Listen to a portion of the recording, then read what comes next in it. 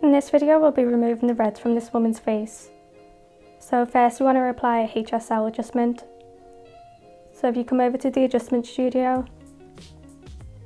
then scroll down to HSL. So now we want to change the range to red. So now I've just moved the hue slider, you can see that it's just affecting all the reds in the photo.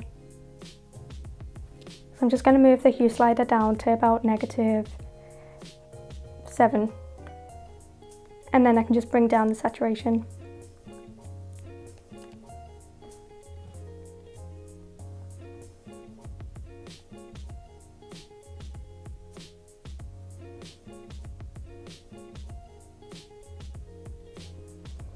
But now that's affecting all the reds in the picture.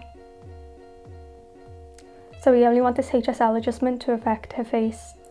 So click on the HSL and then come down to the control panel Clicking on the three dots here, we can press invert.